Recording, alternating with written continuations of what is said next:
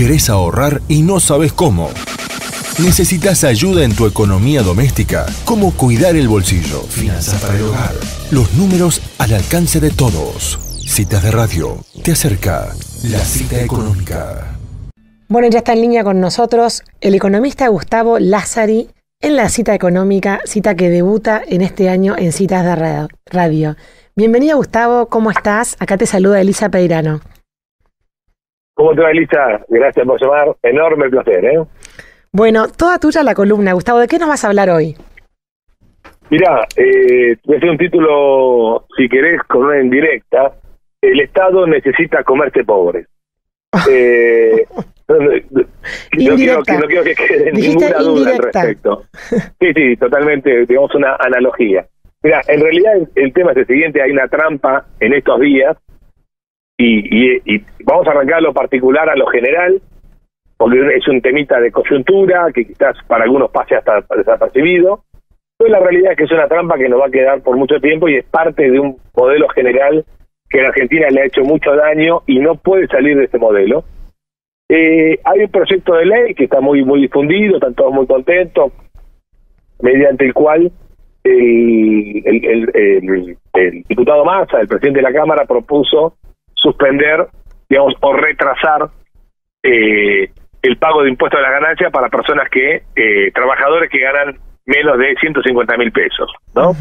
No es como debería ser de mínima, de mínima, un, un, un corrimiento de la escala, sino que a las personas que ganan 150 eh, mil, uno le cae todo el peso del impuesto, 149 mil 999 no le cae nada. Fenómeno.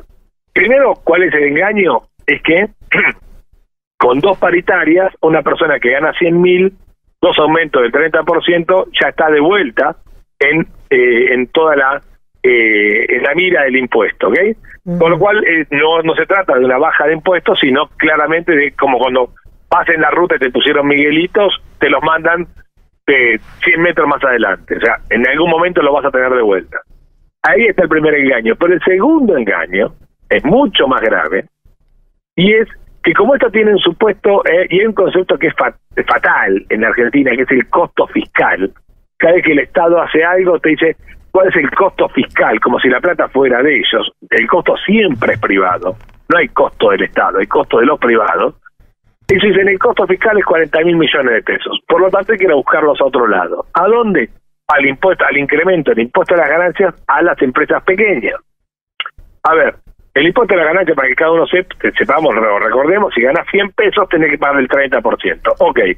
Ahora los tipos dicen, ok, si ganas 109 mil pesos, pagás el 30%. Pero a partir de ese dato, 109 mil pesos mensuales, que son un millón y medio, un millón doscientos al año, a partir de eso, vos tenés que pagar una sobretasa del 5%, pero si distribuís los dividendos, otra sobretasa del 7%, con lo cual se te va a 42%. Este 12 sobre, sobre 3, 3 por 4, 12, es un aumento del 40% en los impuestos a la ganancia a las pymes. Y esto va a quedar permanente. Entonces, en dos años o en un año, ¿qué va a pasar? Que los que los que tenían ingresos menores a 150 mil pesos vuelven a pagar el impuesto de la ganancia y ya les queda el clavo este de las pymes. ¿Está? Pero vamos los números, porque a mí me parece muy impresionante los números. Argentina se achicó la cabeza, se, le, se nos achicó la escala. 109 mil pesos eh, son 700 dólares. 700 dólares es la mitad de lo que cobra un indocumentado cuando ingresa después de pasar el muro de Trump a Estados Unidos. Cualquier poligrillo que entre a Estados Unidos, voy yo ahora, me mando, me colo por ahí, me consigo el peor laburo de todos, son 1.200 dólares. Entonces, eh, la Argentina ha transformado sus pymes en sudaca. Yo perdóname que sea eh, tan indirecto, pero esta es la realidad porque ellos creen que 100 mil pesos por mes es mucha plata que amerita un sobre un sobreimpuesto. ¿Me explico? Eh, y es lo que gana la mitad de lo que gana un indocumentado cuando recién llega a Estados Unidos. Estamos a ese nivel nos están llevando eh, eh, la política pública en Argentina. ¿Por qué digo que partimos un tema particular que es este proyectito de masa que más encima se vende como bueno? Es una cosa increíble lo que pasa en este país sino que además, y más importante, es que es parte de un esquema general de un país que tiene 170 impuestos, 100 mecanismos de recaudación, la FIP tiene 400 aplicativos para que los pobres contadores se vuelvan locos y traten de liquidar los impuestos, y tienen que levantarse a las 3 de la mañana porque los sistemas se le cuelgan. La única internet del mundo que se cuelga es la de la FIP. Entonces, eh, este, esta, esta, esta, esta sobremolestia sobre el, el, pagador de impuestos, que ya no debería llamarse más contribuyente, porque contribuyente significa que contribuís con algo, y acá no contribuís con nada, te sacan la plata contra nada, entonces no hay ninguna contribución. Eh, eh, esta, esta, esta, esta mochila demoledora que tiene, que tiene que sufrir el pagador de impuestos es lo que está haciendo que la Argentina sea un país inviable, un país insalvablemente inviable y un país muy hostil a la inversión. En la Argentina que invierte, invierte por causas cualitativas, causas familiares, afectivas, no por causa de, no por el TIR y la VAN, no por la tasa interna de retorno ni el valor actualmente, no porque dé el proyecto de inversión. ¿Está claro? Salvo que la inversión esté ligada a un curro con el Estado, bueno, es otra, otra, otra discusión. Entonces, la Argentina ha roto la ecuación económica de todas las empresas. Y con eso no hay creación de empleo posible, no salimos de la pobreza y nos vamos a perpetuar cada vez más en, este, en esta miseria. Esa era la columna de hoy y ahora disculpa la, del trazo indirecto que le di a la curva. Me parece que fuiste muy claro y poco, o sea, no indirecto, sino al revés, muy directo.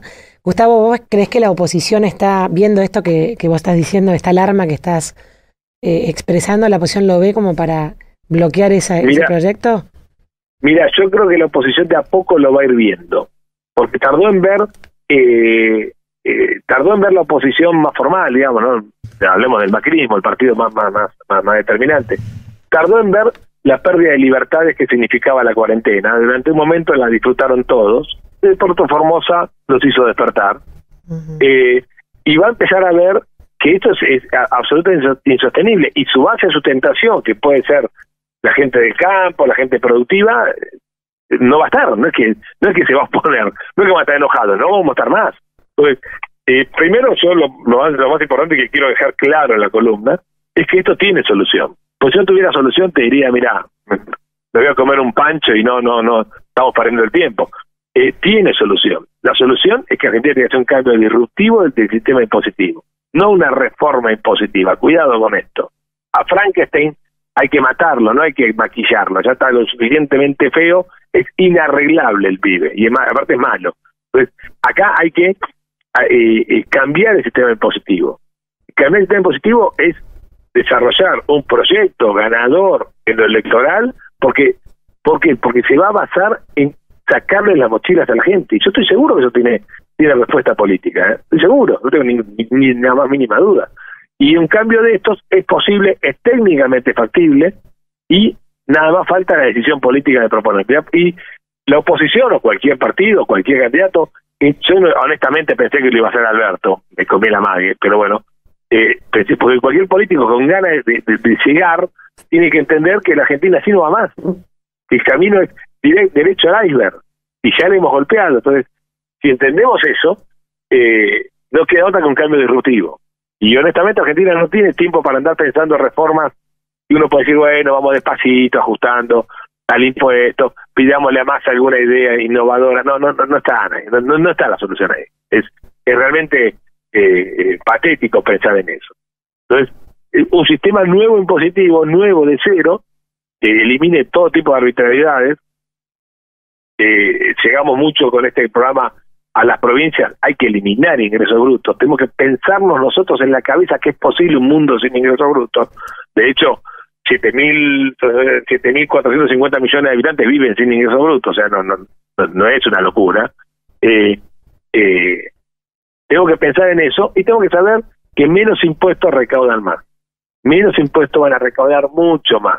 Yo a mis amigos populistas les digo, no sean estúpidos, dejen que el músculo trabaje, que van a sacar más guita que ahora se, se la van a llevar mejor si quieren, si ese es el objetivo último de sus vidas, la van a pasar mejor, pero eh, el músculo muerto no, no, no reporta. Entonces, me parece que la oposición sí lo, lo, lo va a interpretar, lo tiene que interpretar, si no serían ciegos, serían, sería imposible. Buenísimo, Gustavo. Menos impuestos recaudan más. Vámonos con esa frase de la columna y nos encontramos nuevamente el mes que viene. Muchísimas gracias. Te mando un gran abrazo. ¿eh? Gracias por la columna. Adiós. Bueno, y así pasaba Gustavo Lázari en su columna debut hablando de estos temas tan importantes.